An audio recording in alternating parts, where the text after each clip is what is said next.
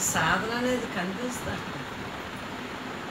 నేను బ్రహ్మం ఇంకా అంతే. అలా ఉండిపో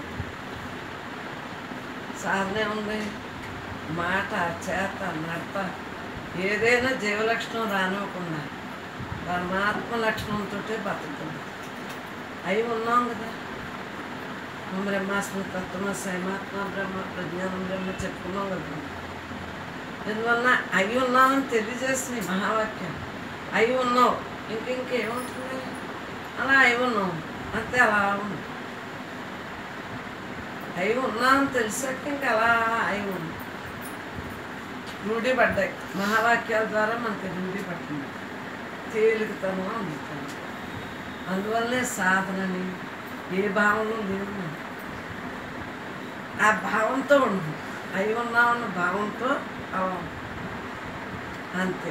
ఇది జీవలక్షణం ఎందుకు వస్తుంది రాదమ్మా జీవలక్షణం ఎప్పుడు వస్తుందంటే అయి ఉన్నామని తెలియనప్పుడు వస్తుందిరా. అయి ఉన్నామని తెలిసాక ఇంక జీవలక్షణం ఎందుకు వస్తుంది జీవలక్షణం రాదు. అలా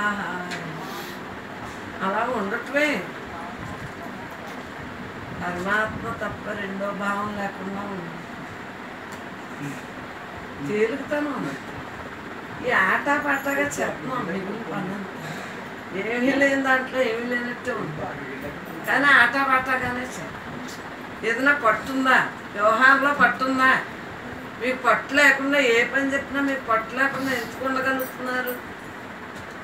పట్టు లేదు దేనేందో పట్టలేదు రోజు అలా గడిచిపోతాం. దేనేందైనా పట్టు తెలుసు అసలు పట్టే లేదు. చేస్తా ఉంటే